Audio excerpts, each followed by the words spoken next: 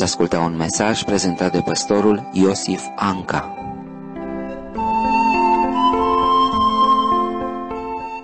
Ne vom opri în dreptul lui Ahaz, împăratul răului sau domnia răului. În 2 împărați, capitolul 16, citim de la versetul 2, este prezentat el. Ahaz avea 20 de ani când a ajuns împărat și a domnit 16 ani la Ierusalim. El n-a făcut ce este plăcut înaintea Domnului Dumnezeului său, cum făcuse tatăl său David, ci a umblat în calea împăraților lui Israel și chiar a trecut pe fiul său prin foc după urăciunile neamurilor pe care le izgonise Domnul dinaintea copiilor lui Israel. A adus jerfe și tămâie pe înălțimi, pe dealuri și sub toți copacii verzi. Acest împărat a adunat tot ce e rău de la Israel și chiar de la neamuri. A căutat răul și dacă a sesizat expresia n-a făcut ce este plăcut, înseamnă nu doar că a căutat răul, ci de asemenea că el a evitat binele. Spune Scriptura, de exemplu, despre Iov, se abătea de la rău. Despre acest împărat am putea spune că se abătea de la bine și căuta răul. De aceea domnia lui se caracterizează printr-o domnie a răului. Însă, din nefericire, domnia lui, și vom vedea în cele ce urmează, are mari asemănări cu vremurile noastre de astăzi. Ne vom uita la viața și împărăția lui, mai întâi la distrugerea regatului său și apoi la pierderea spiritualității. Le-am pus invers, întâi studiem efectul și apoi cauza. Că uneori este mai doveditoare ordinea aceasta. A preluat împărăția de la acei trei împărați sub care țara a progresat. Amația, Ozia și Iotam. Acei trei împărați buni cu înălțimi rele. Însă imediat ce a ajuns el pe tron, tânăr, regatul a început să piardă, să intre în declin.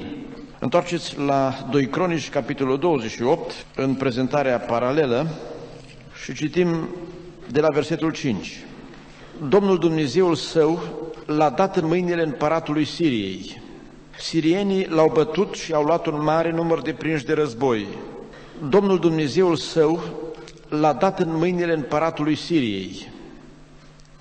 Sirienii l-au bătut și au luat un mare număr de prinși de război, pe care i-au dus la Damasc. Apoi, a fost dat și în mâinile împăratului lui Israel, care i-a pricinuit o mare înfrângere. Știți regula divină din Vechiul Testament? Când se supăra Domnul pe ei, îi dădea în mâinile poporilor din jur. Și vechii dușmani, filistenii, edomiții, sirienii, cei pe care David îi învinsese și îi redusese la tăcere, din nou se ridicaseră și câștigau biruințe asupra urmașilor lui David, fiindcă acest Ahas nu mai făcea ce făcea David, ba încă făcea invers. Și atunci și rezultatele erau invers. De un exemplu de la versetul 6, pe Cah fiul lui Remalia, împăratul lui Israel, a ucis într-o singură zi în Iuda 120 de mii de oameni, toți viteji, pentru că părăsiseră pe Domnul Dumnezeul părinților lor. Zicri, un războinic din Efraim, a ucis pe Maaseia, fiul împăratului, pe Azricam, căpetenia casei împăratului, și pe Elcana, care era al doilea după împărat. Și încă, altă pierdere, copiii lui Israel au luat dintre frații lor 200 de mii de oameni prinși de război, femei, fii și fiice, și le-au luat multă pradă pe care au adus-o la Samaria. Versetul 17. Edomiții au venit iarăși, au bătut pe Iuda și le-au luat prinși de război.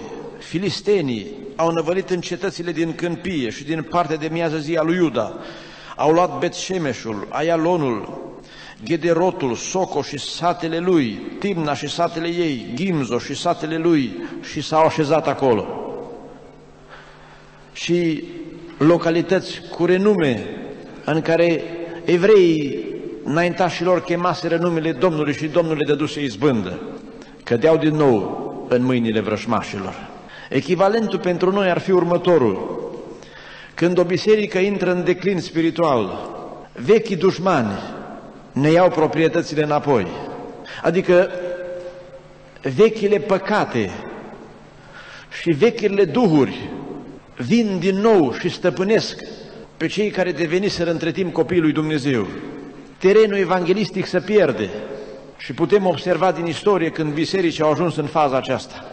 Nu se mai pocăiau oamenii, ba încă și cei care erau și din ei se duceau înapoi în lume. Sau chiar dacă rămâneau unii, rămâneau numai de formă. Acești veșnici dușmani care ar fi trebuit să fie ținuți la respect și să fie înfrânți, erau biruitori asupra poporului Domnului, datorită păcătoșenii acestui ahaz și a celor de lângă el. Citesc în continuare de la versetul 9, ca să observăm că deși mânia Domnului era peste ei și i-a dat în mâinile vrăjmașilor, cât este totuși de bun Domnul. Acolo era un proroc al Domnului numit Odet. El a ieșit înaintea oștirii care se întorcea la Samaria, deci cu acei 200 de mii de prinzonieri, și le-a zis, în mânia sa împotriva lui Iuda i-a dat Domnul Dumnezeu părinților voștri în mâinile voastre și voi ați ucis cu o furie care s-a ridicat până la ceruri. Și credeți acum că îți veți face din copiii lui Iuda și din copiii Ierusalimului robii și roabele voastre, dar voi nu sunteți vinovați înaintea Domnului Dumnezeului vostru? Ascultați-mă, dar și dați drumul acestor prinși pe care i-ați luat dintre frații voștri, căci mânia aprinsă a Domnului este peste voi.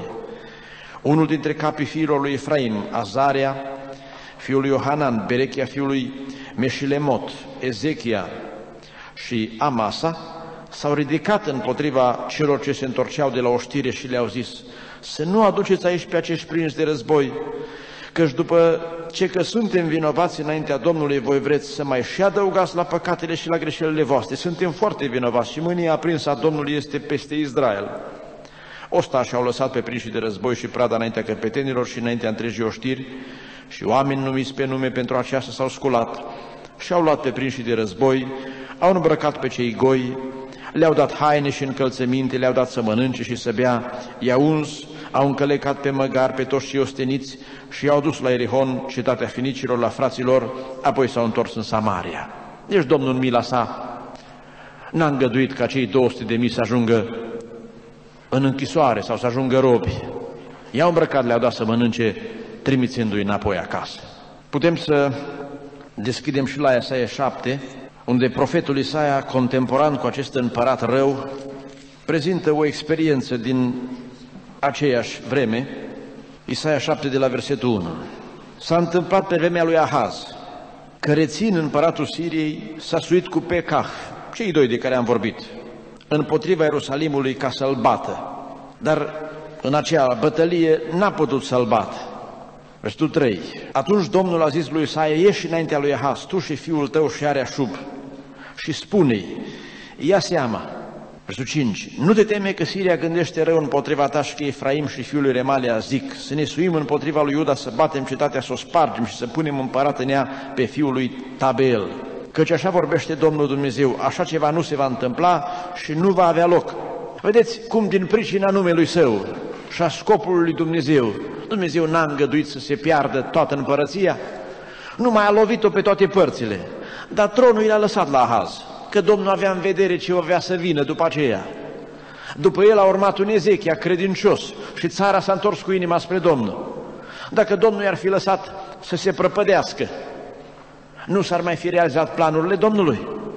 Așa se întâmplă unele lucrurile cât într-o biserică. Ne gândim doar cum de mai supraviețuiesc totuși?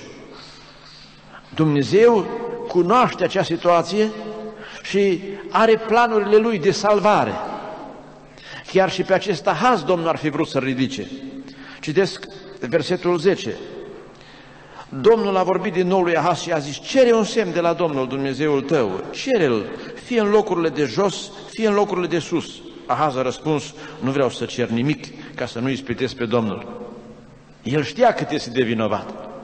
Am citit aceste versete din Isaia doar ca să vedeți grija lui Dumnezeu, chiar în vremea unui împărat atât de rău și mila sa, pentru poporul lui. Întoarceți din nou la capitolul 28, citim de la versetul 20. Bătut de acești dușmani din jur, împăratul a căutat o salvare în țara care era mai mare atunci, în imperiul care era în ascensiune, imperiul asirian. Tilgat Pilneser, împăratul Asiriei, a venit împotriva lui, s-a purtat cu el cum s-ar purta cu un vrăjmaș și nu l-a ajutat. Căci Ahaz a predat casa Domnului, casa împăratului și a mai marilor, ca să facă daruri împăratului Asiriei. Dar nu i-a ajutat la nimic.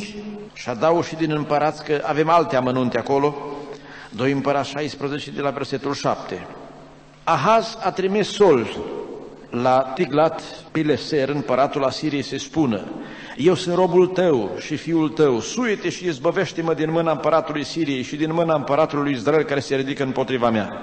Și Ahaz a luat argintul și aurul din casa Domnului și din visteriile casei împăratului și l-a trimis ca dar împăratului Asiriei. Împăratul Asiriei l-a ascultat, s-a suit împotriva Damascului, l-a luat, a dus pe locuitori în robie, la Chir și a omorât pe rețin împăratul Siriei. El a încercat să rezolve în plan uman situația lui.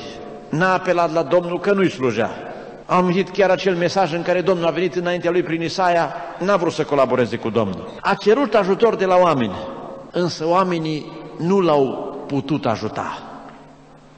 Ba încă oamenii numai l-au prădat, au luat banii de pe el și l-au lăsat fără Dumnezeu, fără avere și fără anumite zone din țară.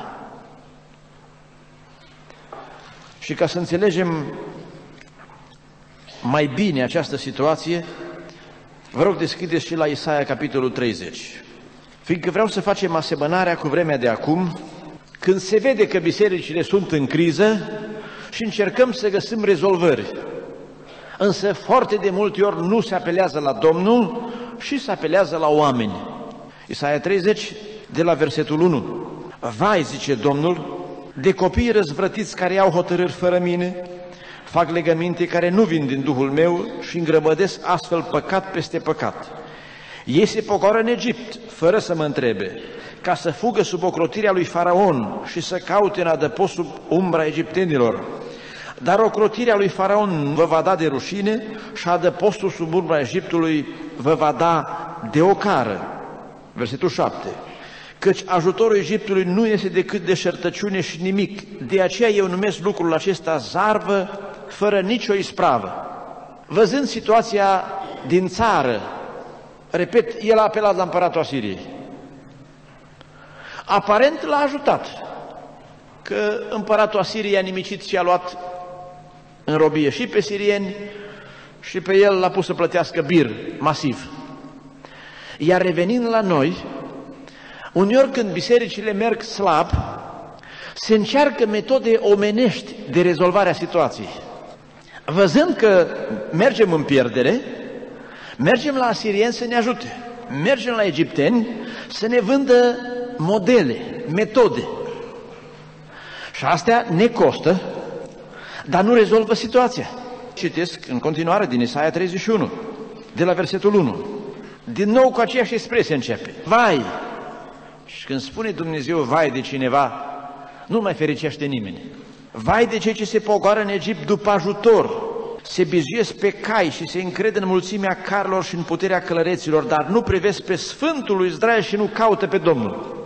Dar și Domnul este înțelept și aduce nenorocirea și nu și-a vorbele înapoi, ci se ridică împotriva casei celor răi și împotriva ajutorului celor ce săvârșesc nelegiuirea, căci egipteanul este om, nu Dumnezeu, și caii lui sunt carne, nu duh. Doar mâna să-și întindă Domnul și ocrotitorul se va clătina, iar cel ocrotit va cădea și vor pieri cu toți. Iată ce situație nefericită.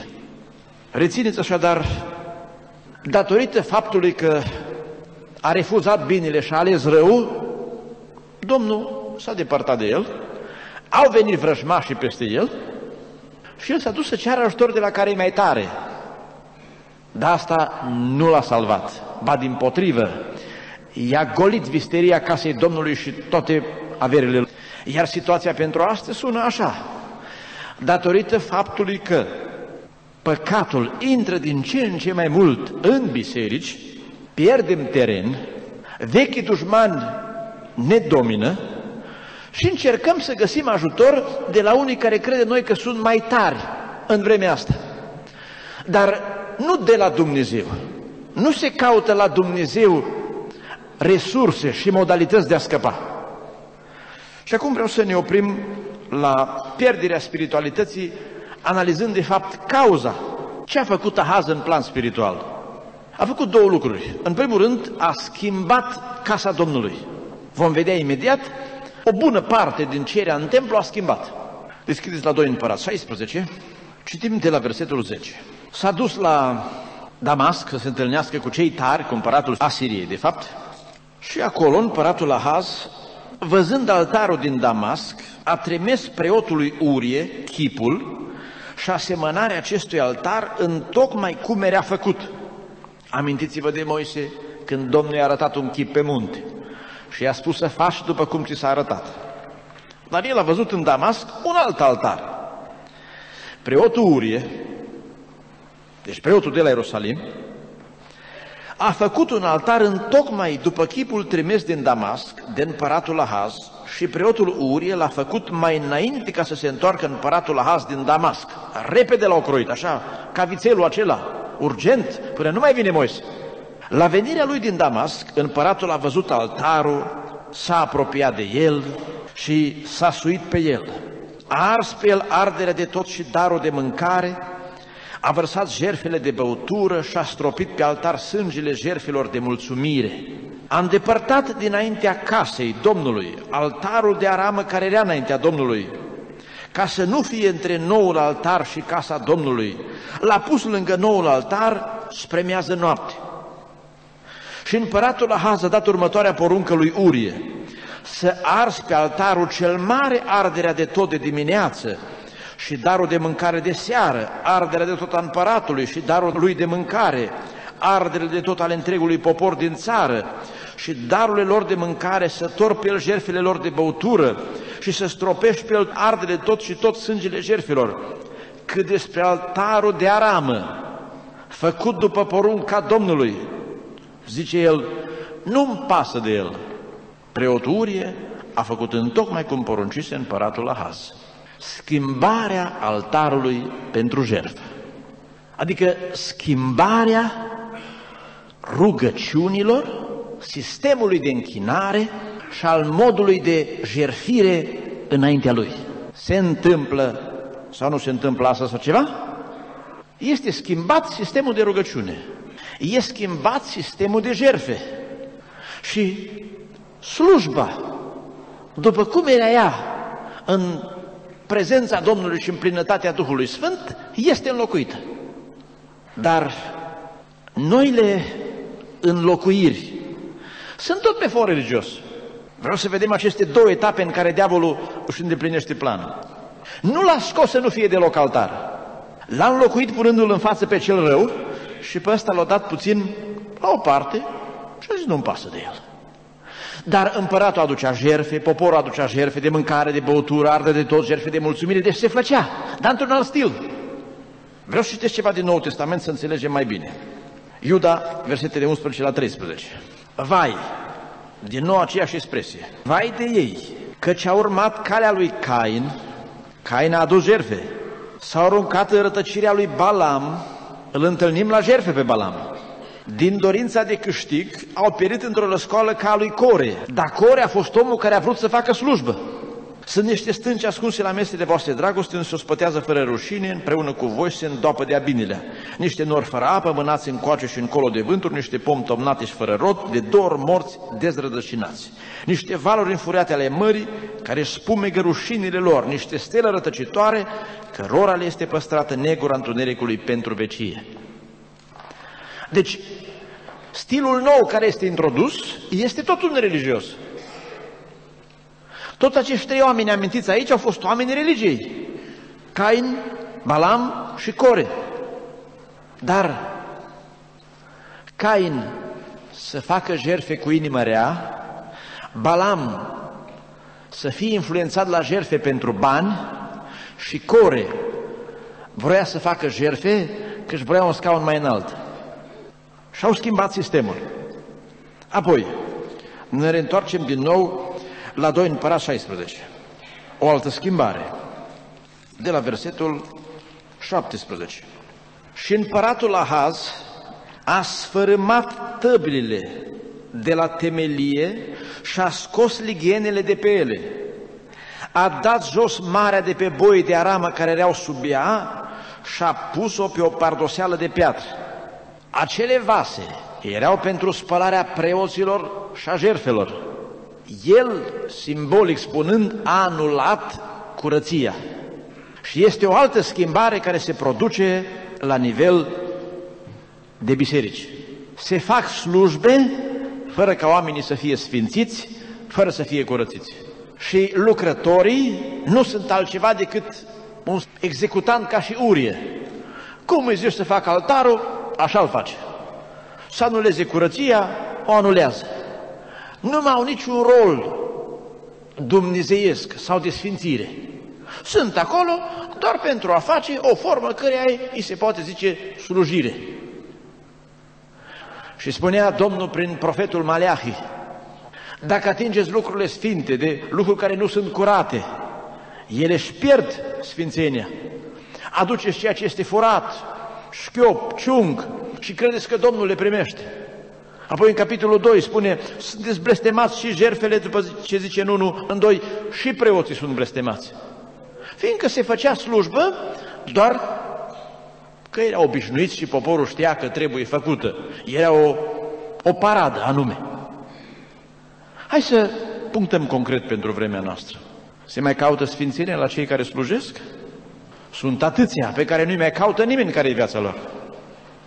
Apoi, citesc versetul următor, 18 și 19. De hatârul împăratului Asiriei a schimbat în casa Domnului pridvorul sabatului, care fusese zidit acolo, precum și intrarea de afară împăratului. Și celelalte fapte ale Ahaz, din tot ce a făcut el, nu sunt scrise în cartea cronicilor împăraților lui Iuda? A schimbat și alte lucruri, pridvorul sabatului. Am putea spiritualiza atâtea lucruri care țin de festivități și de sărbători. A schimbat intrările, felul în care se intră în casa Domnului, felul în care trebuie slujit, felul în care cineva poate să fie membru, să zicem, în biserică. Sunt introduse atâtea schimbări, schimbări care au loc atât de rapid, de hatârul împăratului Asiriei, să fim în ton cu ceilalți. Măcar că slujba lui Dumnezeu ar trebui făcută într-un cu totul alt mod. Vreau să citim ce spune Pavel lui Timotei. 2 Timotei 2, de la versetul 16. Ferește-te de vorbările goale și lumești, că cei ce le țin vor ne tot mai mult în necinstirea lui Dumnezeu. Și cuvântul lor roade ca gangrena, din numărul acestora sunt Timineu și Filet atunci, acum sunt alții, care s-au bătut de la adevăr. Totuși temelia tare lui Dumnezeu stă nezguduit, având pe cetea aceasta, Domnul cunoaște pe cei ce sunt ai Lui. Și oricine rostește numele Domnului să se depărteze de fără de lege. Și apoi este prezentat principiul curățirii. Dacă vrea cineva să fie un vas folositor, să se sfințească. Capitolul 4. De la versul 3. Căci va veni vremea când oamenii nu vor putea să supere învățătura sănătoasă. Adică nu mai suportă lucrurile sfinte din templu. Vor să le schimbe după cum e la asirieni. Îi vor gândi la urecle sau de lucruri plăcute, își vor da învățători după poftele lor, își vor întoarce urechea de la adevăr și vor spune ca de altar, nu pasă de el și se vor îndrepta spre istorisiri închipuite. Altarul a fost o închipuire a știu cui și gândirea lui Dumnezeu, aceea veșnică și înțeleaptă, a fost îndepărtată. Dimensiunile biblice au fost date la o parte. Și după ce a schimbat imaginea casei Domnului, știți ce s-a întâmplat? A închis-o. Asta e ordinea în care lucrează diavolul. Mai întâi schimbă lucrurile în biserică, și după aceea nimicește biserica. Istoria bisericii, nu numai a lui Israel, dovedește asta. Cum au fost bisericile în primele trei secole? S-au mulțit și se spunea că sângele martirilor este sămânța lor. Ei, după ce au nevălit păgânii, diavolul a reușit să schimbe lucrurile în biserică. De când le-a schimbat, sunt biserici în tot satul. Merg oamenii la biserică? a rămas numai ca muzeu. După ce a schimbat-o, a reușit să o închidă în mod spiritual. Asta a făcut și Ahaz. Și vă voi citi din 2 Cronici 28, de la versetul 24. Ahaz a strâns uneltele din casa lui Dumnezeu și a făcut bucăți uneltele din casa lui Dumnezeu. A închis ușile casei Domnului și a făcut altare în toate colțurile Ierusalimului. Și 25. Și a ridicat înălțimi în fiecare cetate a lui Iuda, ca să aducă tămâie altor Dumnezei și a mâniat astfel pe Domnul Dumnezeul părinților săi. A fost pentru prima dată de la deschiderea aceea plină de slava templului, când s-au închis ușile casei Domnului. Și în schimb, le-a făcut înălțimi peste tot, pe dealuri, în cetăți. Interesați-vă în Occident, se mai duc oamenii la biserică? Le-au schimbat în conținut slujbele și au făcut fel și fel de atracții omenești să vină oamenii. Mai merg o oră sau două pe săptămână. Dar și aceea este și numită laudă și închinare și un predicator spune ceva glume, ceva din Biblie și asta e predica. Și în restul oamenii, unde sunt? Pe la locurile zidite pentru înălțimi. Du-te la orice loc de distracție și o să-i găsești. Și acolo se poate face să-i se dea o notă creștinească. Că fac un fest pentru Isus. Dansează și mâncă până nu mai pot. Și fest pentru Isus. Adică înălțim zidite în locul casei Domnului. S-a închis, o putem considera biserica și se adună în acele locuri, care sunt de o atracție mult mai mare decât biserica pentru oameni. Iată cum acea situație se repetă. Citesc din Iuda, unde este o profeție pentru vremea noastră, de la versetul 3. Previților, pe când căutam cu tot din adinsul să vă scriu despre mântuirea noastră de obște, m-am văzut silit să vă scriu, să vă îndemn, să luptați pentru credința care a fost dată Sfinților odată, pentru totdeauna. Că s-au strecurat printre voi unii oameni scriși de mult pentru o sândă aceasta, oameni neevlavioși, care schimbă în desfrânare harul Dumnezeului nostru și tăgăduiesc pe singurul nostru stăpân și Domn Isus Hristos. Și apoi, de la versetul 16, ei sunt niște cărtitori, nemulțumiți cu soarta lor, trăiesc după poftele lor, gura le este plină de vorbe trufașe și slăvesc pe oameni pentru câștig. Dar voi, prea iubiților, aduceți-vă aminte de vorbele vestite mai înainte de apostolii Domnului nostru Isus Hristos. Cum vă spuneam că în vremurile din urmă vor veni bajocuretori care vor trăi după poftele lor nelejuite. Ei sunt aceia care dau naștere la dezbinări, oameni supuși poftilor firii care n-au Duhul. Dar voi, vedeți cum face distinția? Între care ne vom încadra? Între cei care rămânem sau ne vom abate cu ceilalți? Dar voi, zidiți-vă sufletește pe credința voastră prea sfântă, rugați-vă prin Duhul Sfânt. Țineți-vă în dragostea lui Dumnezeu și așteptați îndurarea Domnului nostru Iisus Hristos pentru viața veșnică. Mustrați pe cei ce se despar de voi. Căutați să mântuiți pe unii smulgându-i din foc, de alții iarăși fie vă milă, cu frică, urând până și cămașa mânjită de carne. Iată așadar cum lucrează diavolul. Schimbă lucrurile în biserică, că dacă ar învia unii sau din cei mai în vârstă care trăiesc și când ar face comparația între ce a fost o slujbă de la biserică și ce este astăzi în unele locuri, eu am văzut diferențe și în unele locuri când am auzit spunând Domnul este aici, am socotit că e o blasfemie ce spun ei, că în mod sigur nu era Domnul acolo. Ce diferență între o slujbă dumnezeiască, cu un altar după un tipar divin, cu vase de curăție, cu un templu în care era prezent Dumnezeu și alte forme în care totul e distracție, fiecare face ce vrea și modelul celor mai mari și mai puternici ne domină. Diavolul atât vrea să schimbe și după ce schimbă, în biserică nu poți băga lumea pe de-a întregul. Trebuie să fie puțin pestriță situația, să mai aibă și ceva din Biblie și din lume. Și atunci asta te plictisește după ce devii lumesc.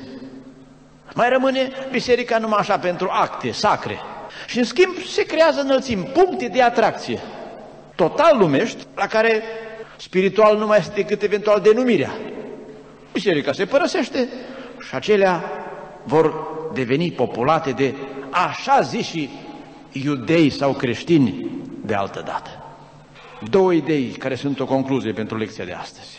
Ahaz a fost omul care în situații de criză a acționat greșit. Toți recunosc, azi e criză. Recunosc toți. Cum acționăm? Ca azi? El a acționat greșit în criză. Mi-amintesc de un frate lucrător care în urmă cu vreo 20 de ani a avut niște vise dumnezeiești în care bisericile erau reprezentate prin grupuri de oameni și deasupra era ca o instalație electrică de înaltă tensiune, ca o stație de transformare și cu o cabină purtată de unde se comanda întreaga situație. Și spunea că în vise a fost descoperit că s-au luat niște măsuri greșite, s-au dat niște ordine eronate și s-a scurt-circuitat instalația. Eu nu tâlmăcesc mai mult. Dar asta a greșit Ahaz. În situație de criză a acționat greșit. În loc să provoace poporul la pocăință, a încercat rezolvări de altă natură. Hai să citesc două versete care nu vi le-am citit din prezentarea lui, 2 Cronici 28, versetele 22 și 23. Pe vremea aceea, chiar când era la strâmtoare, adică în criză, a păcătuit și mai mult împotriva Domnului, el, împăratul Ahaz, a adus jertfă Dumnezeilor Damascului, care îl bătuseră și a zis, fiindcă Dumnezei împăraților Sirii le vin în ajutor, le voi aduce și eu jerfe ca să-mi ajute. Dar ei au fost prilejul căderii lui și a întregului Israel. Metoda la care a recurs a fost greșită. De fapt, în biserică, frați și surori, nu trebuie metode. La cinci din cele șapte biserici din Apocalipsa, rețeta e atât. Pocăiește-te.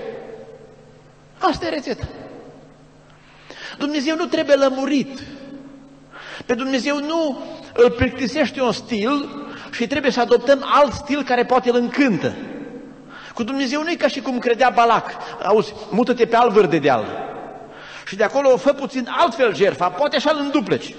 Cu el nu cum și-a bătut Ilie joc de slujitorul lui Bal când ne-a zis, vedeți, străgați altfel, poate doarme și i-au încercat să-și facă tăieturi, să recurge la altceva. Nu! La Dumnezeu nu trebuie diferite metode și tactici, la Dumnezeu una trebuie să ne pocăim. Și când ne sfințim, Dumnezeu vine la noi. Dumnezeu nu așteaptă nici invitații speciale, nici metode diverse. Dumnezeu vrea una singură, pocăința. Atât.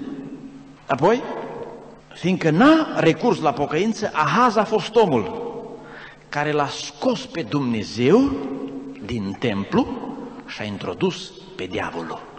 Dar în final nu asta se va întâmpla? Unde va intra satana? Și cu omul fără de lege? Va intra în templul lui Dumnezeu și se va da? Drept Dumnezeu. Dar cum se face rocada asta? Iese Dumnezeu de voie după ce lucrează în schimbul tăi și intră diavolul în schimbul doi? Nu, oamenii care sunt în slujbă îl scot pe Dumnezeu și tot ei îl introduc pe diavolul. Ahaz a făcut mutarea asta din nefericire.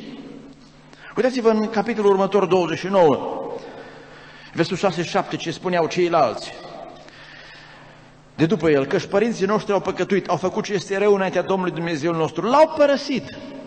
Și atunci Domnul i-a lăsat. Și au bătut privirile de la cortul Domnului și i-au întors spatele. Au închis chiar ușile pridvorului și au stins candelele și n-au adus Dumnezeul lui Israel nici tămâie, nici arder de tot în Sfântul Locaș. În vremea noastră, în atâtea locuri, se caută un Ezechia. Știți ce a făcut Ezechia? 29 cu 3. În anul întâi al domniei lui, în luna întâi, a deschis ușile casei Domnului și le adres. Amin. În atâtea locuri se caută un Ezechia.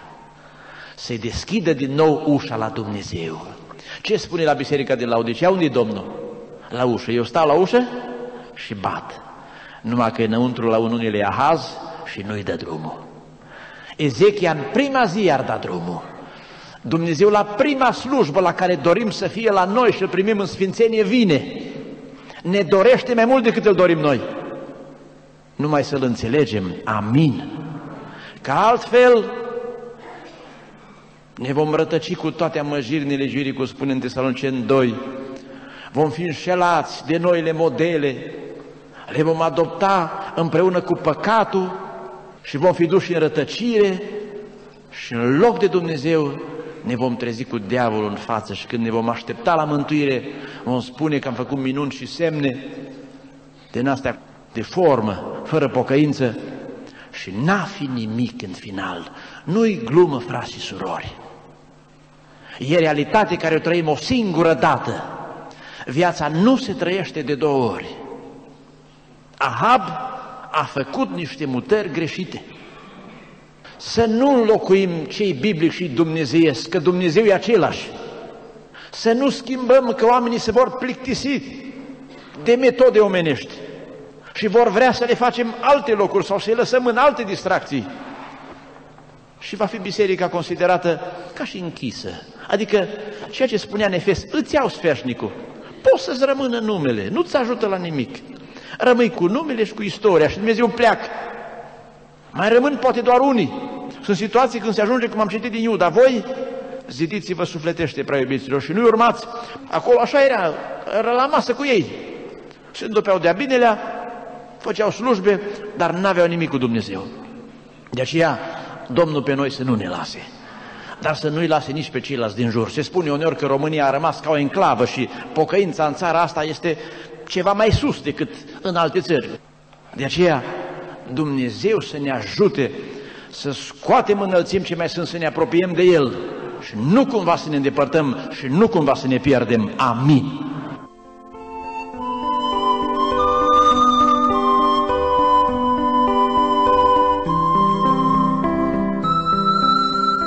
Ați ascultat un mesaj prezentat de pastorul Iosif Anca.